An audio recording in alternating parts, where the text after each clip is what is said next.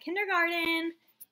Today we're going to read a book called The Reasons for Seasons. Hmm. How the position of Earth in relation to the sun causes seasons. I hope you're ready. Here we go. Spring, summer, autumn, winter. These are the four seasons of the year. Don't mind me while I move my little video. The sun warms the surface of Earth, the planet we live on. The tilt of Earth in relation to the sun changes throughout the year. This is what makes the seasons. Each season lasts about three months. Four seasons make a year. That's how long it takes for Earth to revolve or make one trip around the sun. As Earth circles the sun, different parts of Earth are closer to the sun than others. This affects the amount of light and heat they receive. Okay, so here's the Earth and here's the sun, and in one year, the Earth goes all the way around the sun. And in one year, we have winter, spring, summer, and autumn. Earth is slightly tipped as it turns on its axis. It makes one full rotation on its axis every 24 hours as it moves along its path around the sun.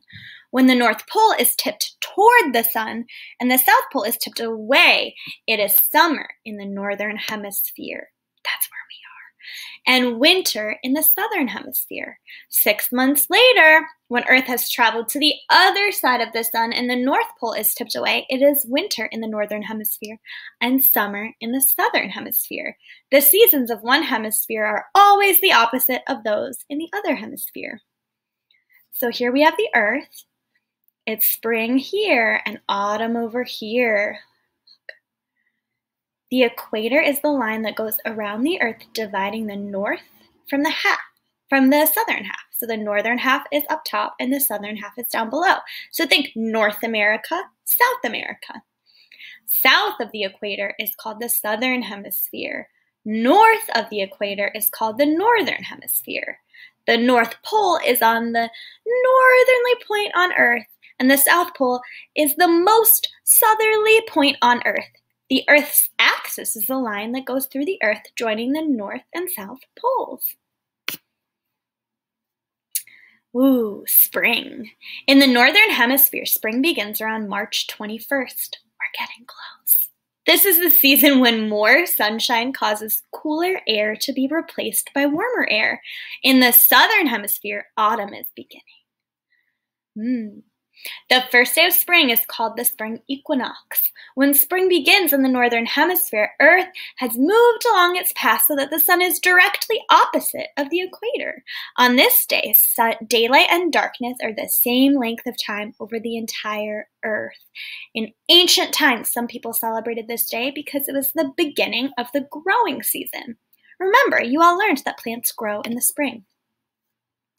Spring is the season when some birds that have been away for the winter return again. It's called migration. Some whales migrate too. Some animals that slept all winter wake up and look for food. Spring winds are good for kite flying. In the season when everything seems to come alive again, trees grow new leaves and flowers bloom. Some crops are planted. Slowly, the days in the northern hemisphere become longer because that part of the earth is tilted more toward the sun. We see the sun higher in the sky. More direct sunlight reaches the ground for longer periods of time. What season is the most hot? Summer. Summer begins in the northern hemisphere about June 21st. The northern hemisphere is tilted more toward the sun than at any other time of the year. It's the warmest season. In the southern hemisphere, winter is beginning. The first day of summer is called the summer solstice. It is the longest day of the year. On this day, we see the midday sun at its highest point in the sky. The hottest days of summer take place after the summer solstice because the earth keeps absorbing more heat. Flowers and plants grow under the warm sun. Many animals are busy raising new families. In the summertime, people have fun outdoors. They can go to a beach, swim in a lake, or read under the shade of a big tree full of large green leaves. During the summer, daylight is long. We see the sun high in the sky. It might still be daylight at bedtime. The nights are shorter. Autumn. Autumn begins about September 21st in the northern hemisphere. It is the season when the air starts to get cooler, the leaves of some trees turn to beautiful colors and fall to the ground, which is why some people call this season fall. In the southern hemisphere, spring is beginning. The first day of autumn is called the autumn equinox. When the autumn begins in the northern hemisphere, Earth has moved along its path so that the sun is directly opposite the equator again. On this day, daylight and darkness are about the same length of time over the entire Earth. Since ancient times, some people have celebrated this time of year because of autumn harvest. Some birds migrate to warmer climates. Animals prepare themselves for the long cold season to come.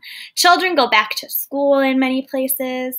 It's harvest season. Farmers gather their crops. There are county fairs too. The air becomes cooler because the northern hemisphere is tilted farther away from the sun. The days grow shorter and the nights become longer. We see the sun lower in the autumn sky. Winter.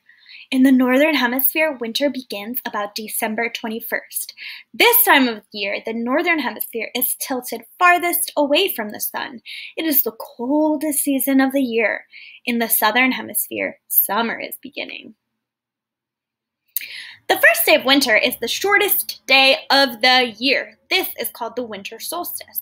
On this day, we see the midday sun at its lowest point in the sky. In early times, the first day of winter was celebrated as a festival to honor light, to keep away darkness, and to hope for the sun's return. The coldest days of winter come after the winter solstice because Earth keeps losing the heat it gained in the summer. Leaves are gone from most trees. There aren't as many birds. Some animals sleep all winter. This is called hibernation. Often it's very cold.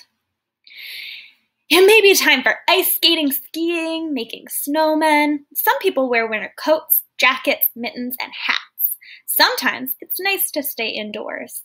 During winter, daylight is short and the nights are long. We see the sun low in the sky. Sometimes it's dark even before dinner. Areas near the equator have little temperature change during the year. In these places, they're hardly affected by the tilt of the Earth. Instead, the seasons are marked by alternating rainy and dry periods, two rainy and two dry seasons each year. Each day at the equator, daylight and darkness are almost always equal. At the North Pole and the South Pole, it is always cold. When a pole is tilted far away from the sun, it's winter. During parts of the winter, the sun never appears over the horizon. It's always dark all day. When a pole is tilted closer to the sun, it's summer. At times, it's always light. Light all night. wow. So you have spring, summer, autumn, winter. Year after year, the seasons repeat themselves. Earth and its many relationships to the sun are the reason for the seasons. Wow, love that story. Okay, click on the exit ticket below. See you later, kindergarten.